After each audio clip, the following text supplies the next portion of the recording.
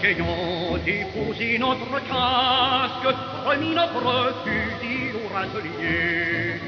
Nous avons, sortant de la bourrasque, revu les champs, le bureau, l'atelier. Nous espérions qu'ayant gagné la guerre, la France aurait le bonheur à jamais.